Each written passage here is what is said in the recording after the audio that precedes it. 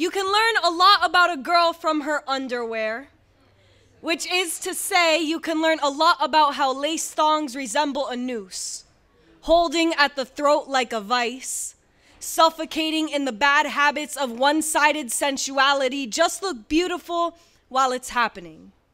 Not a hair out of place, not a drop of sweat. Do not drop your chin or your arch. There is no such thing as cracking under pressure. You are a toy that has never left its box.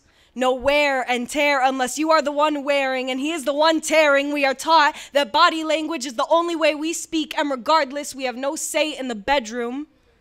You can learn a lot about me from my panty drawer.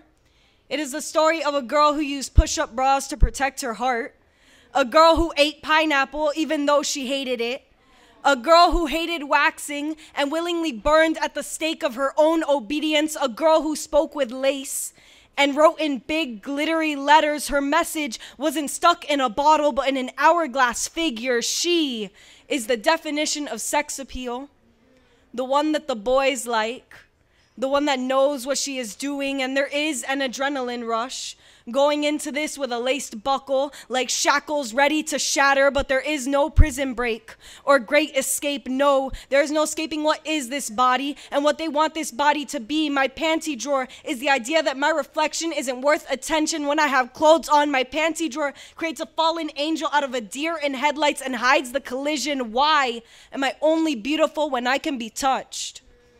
When I can fall into the grave of your bed? when my nails match my panties? Why am I only beautiful as a fantasy? As a dream you'll wake up from? The girl who won't be there in the morning. This is what you want. No evidence of me.